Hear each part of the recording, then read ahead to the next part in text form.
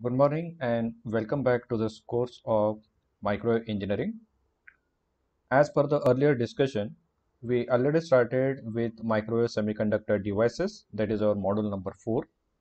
In our previous lecture, we developed a theory working principle of the special type of a diodes, that is a Gunn diode and IMPATT diodes. The Gunn diode and IMPATT diodes, they are basically two different types of a diode which essentially utilize for the same purpose. Both of these diodes can be utilized for generation of the microwave signal as well as they can also be used for amplification of the microwave signal. But the principal difference of the working mechanism for the Gunn diode is based on a principle known as transferred electron mechanism and that's why the Gunn diodes are normally known as transferred electron devices. On the other hand, we saw the another family of a diode which was labeled with Read family. Now the working principle of this diode is based on two separate operations. First operation is to generate the avalanche multiplication breakdown effect and the second effect is the transit time which is a time taken by the charge carrier in order to flow out of the circuit. So the principal working of the IMPATT diode in order to generate a negative resistance was based on the two separate processes. Now we go further and we will see two more remaining family members of the Read diode that is TRAPATT diode and BARITT diode. Now remember here that the principal working of all these diodes more or less is going to remain same in the family. So the diodes today which we are going to see those are also going to belong from the same diode family that is they belong to the Read family. So today we are going to discuss the remaining two types of Read diode which belong to the family of a Read diode. So TRAPATT diode and BARITT diode. So these two diodes we are going to study and we will see their working construction and how typically they are used in a microwave applications. And thereafterwards towards the end of this fourth module semiconductor devices we will study in detail the parametric amplifier. Okay?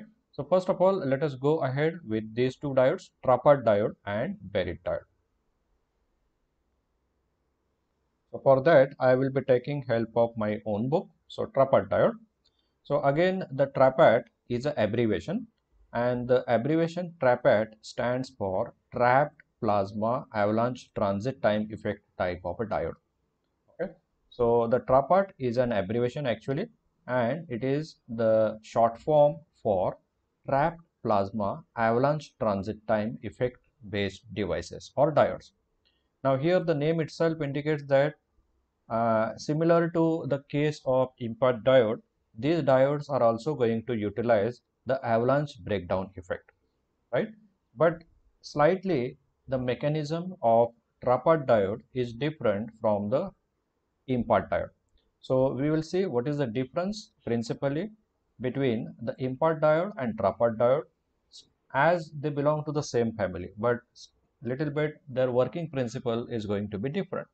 A common thing which is observed between the operating principle of IMPATT and TRAPATT diode is that both are going to utilize avalanche breakdown effect and transit time effect, right? So the long form for the TRAPATT diode that we saw that is a trapped plasma avalanche transit time effect based device or diode.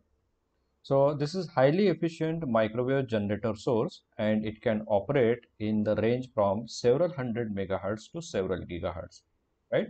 So TRAPATT diodes have a little bit higher amount of efficiency when it is compared to their siblings that is the IMPATT diode and these diodes are able to generate microwave frequency in the range from hundreds of megahertz to several gigahertz right the construction wise these diode typically consist of different types of structures like p plus n n plus structure or we can replace this with n plus p p plus structure right? So here the n-type or p-type semiconductor is sandwiched between highly doped p plus and n plus region on the other sides right? The typical width of the depletion region for TRAPATT diode varies between 2.5 to 12.5 microns. Okay, so this is a typical width of the depletion region exhibited by the TRAPATT diode.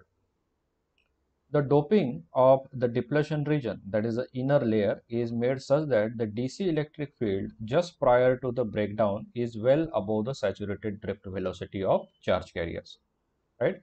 Now, the highly doped region, which are connected or joined at the two ends of this drift region, we call it as a P plus region and N plus region. And these highly doped regions are kept possibly thin and their length is in typical range of 2.5 to 7.5 micron. The diameter of this diode ranges from 50 micron if it is being operated in continuous wave operation and it will be having a diameter of 750 micron at a lower frequency for high peak power operation right so though the TRAPATT diode is similar to IMPATT diode in the structure the mode of the operation of the TRAPATT diode is different from the IMPATT diode and it also exhibits higher efficiency in comparison to the IMPATT diode. So this statement is very important, right? So the TRAPATT diode belongs to the same family of Read diode, but it is still efficient when it is compared to IMPATT diode, right? And the mode of operation of TRAPATT diode slightly differs from that of the IMPATT diode, right? Now here the basic difference between the working principle of IMPATT diode and TRAPATT diode we are going to see. Now in IMPATT diode we saw that we are making use of two different signals. One signal which is normally a DC signal we use to bias the IMPATT diode in the reverse breakdown region right and along with that DC biasing signal we used a small source of AC signal right or the AC voltage so in IMPATT diode, a small AC signal amplitude is used to build up a large signal. Okay, so this was the case in the case of an IMPATT diode. But what is the difference here in the TRAPATT diode? In the TRAPATT diode, the large signal oscillations are produced by triggering of a pulses. So remember over here that the basic difference between the IMPATT diode and TRAPATT diode is that in order to generate the effect of amplification, the IMPATT diodes are going to make use of small signal AC voltage. Okay, and in order to generate the amplification process, the TRAPATT diodes are going to make use of short pulses rather than AC signal. Okay, so this is the different requirement to use these diodes as an amplifying devices, right? The basic operation of TRAPATT is based on semiconductor PN junction diode and it is also used in a reverse biased condition. Okay, so the reverse biased condition, whatever the current that is going to flow through this particular diode will be well above in the excess. Okay, so those who are encountered during the normal avalanche operation. We know that whenever a diode is reverse biased, the reverse bias when it is exceeded certain threshold voltage, a cumulative breakdown of large number of charge carrier will take place at the junction. And this process we call it as a avalanche breakdown process. Okay. So during the avalanche breakdown, a large amount of reverse current starts flowing through the diode. If these diodes are ordinary PN junction diodes, then the diode may burn out. But these diodes, that is the Read diodes or IMPATT and TRAPATT diode, they will not burn. They are designed in a such a way that in the reverse bias condition, whenever avalanche breakdown take place and whenever a large current surge out through the structure, they can handle this large current without burning, right? So how we are going to make use of this TRAPATT diode?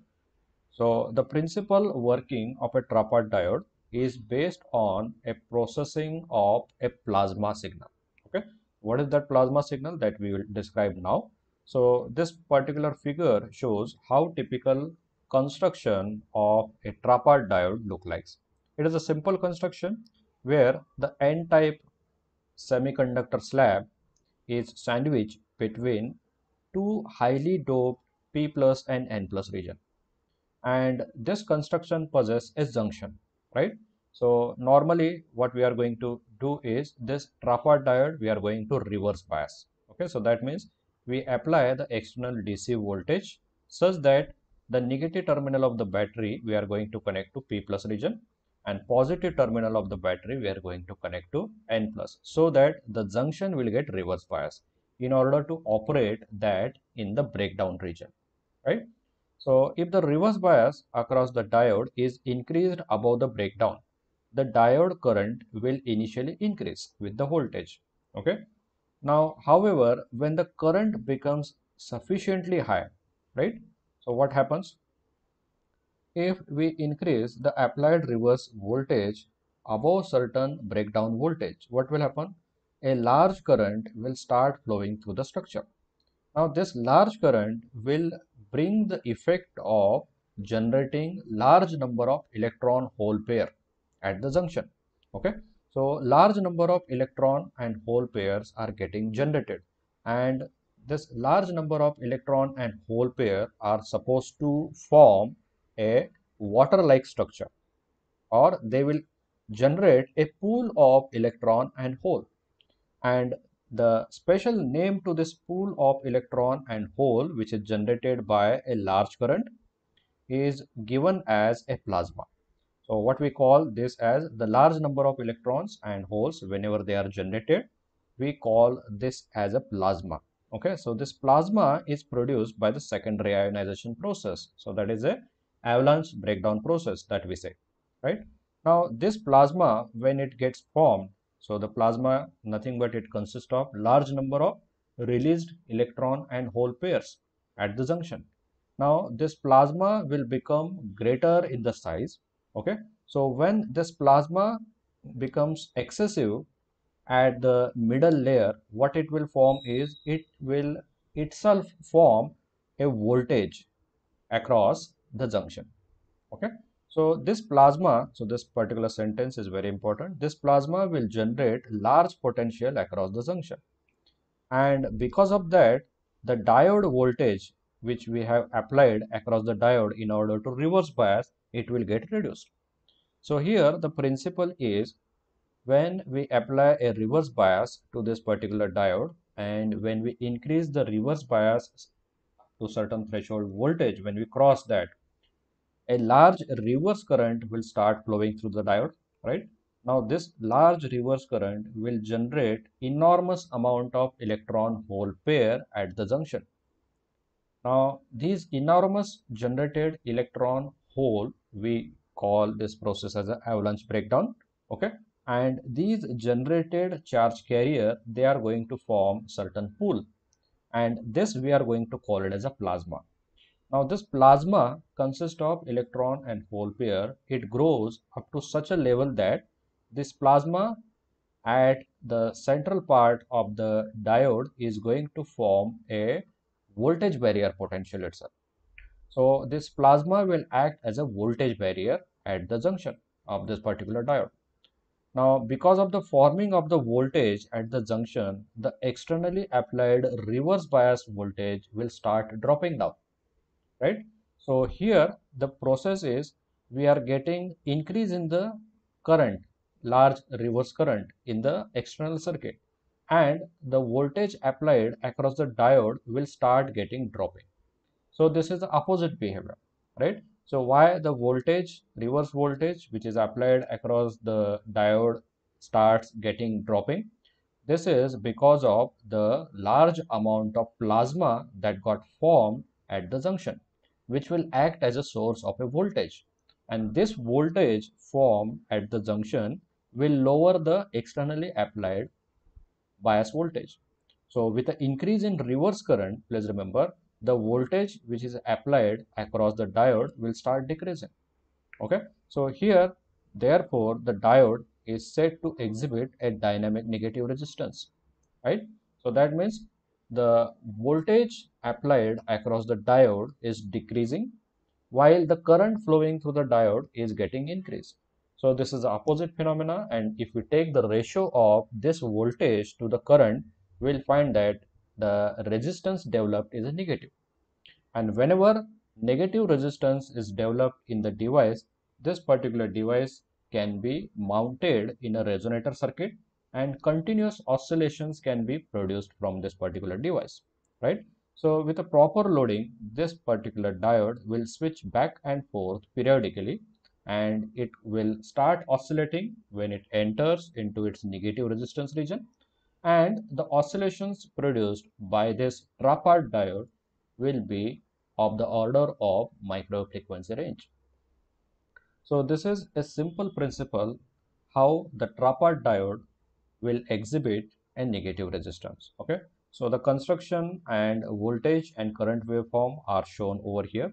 So this voltage is a very high in the avalanche breakdown region. So the avalanche breakdown region is formed between this P plus and N junction, right?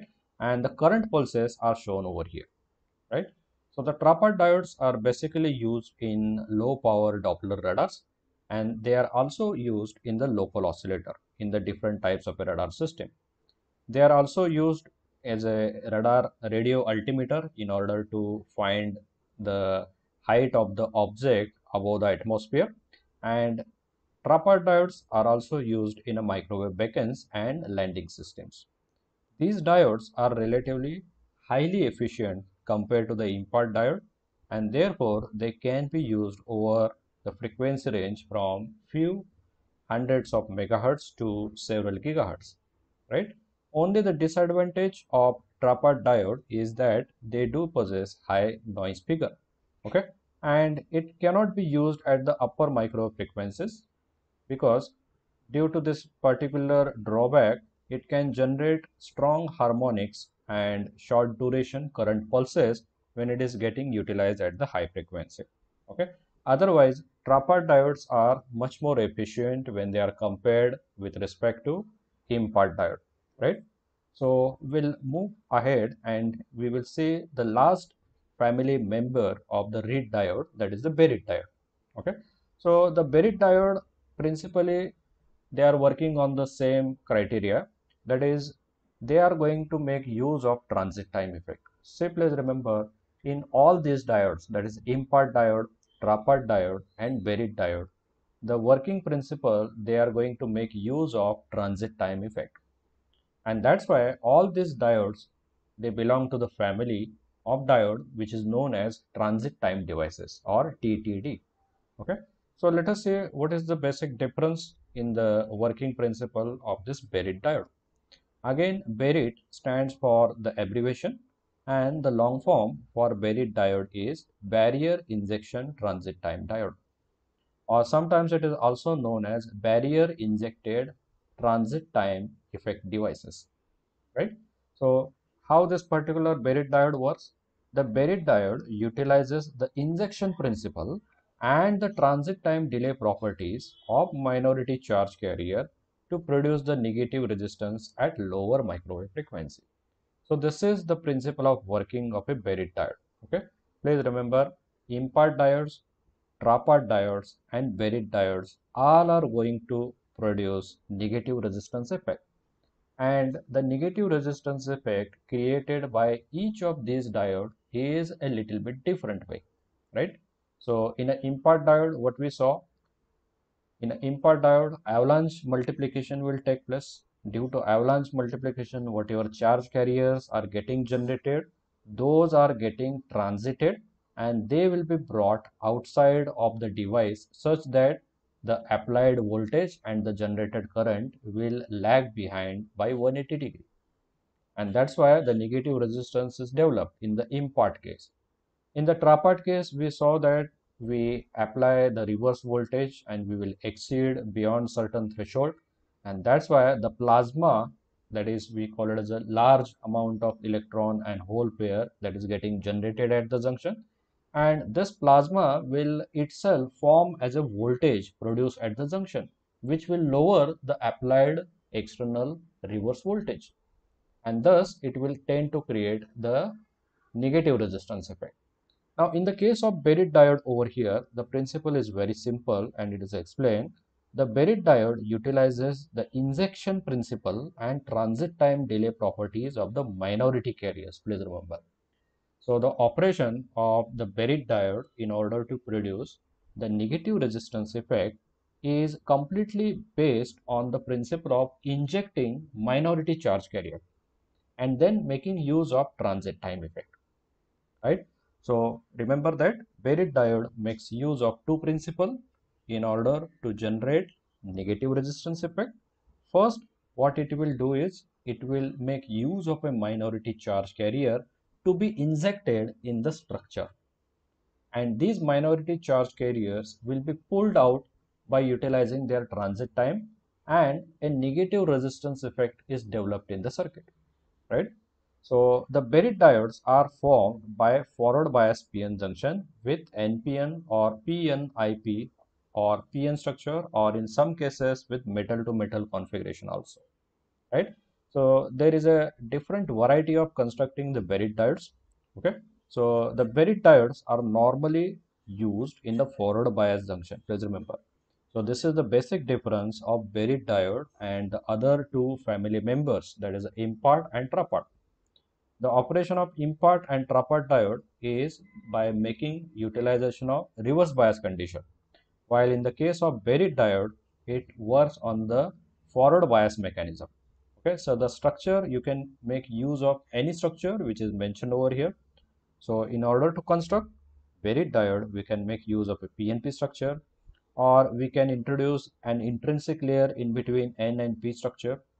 Okay, and we can make use of PN with metal or metal n-type semiconductor and metal configuration. So these are the possible configuration in order to construct the BARITT diode, right? The minority charge carriers which are injected into the drift region, the transit time delay is going to provide the required phase shift between the current and voltage in order to generate the negative resistance. Okay, so this sentence is important the transit time delay property is utilized in order to generate the phase shift between the applied voltage and developed current in the external circuit which will give us a negative resistance behavior right so after mounting the diode in the resonator cavity the induced noise in the cavity itself is sufficient to start the diode to oscillate right so the drift time, a constant external current is getting delivered to the resonator from the DC bias.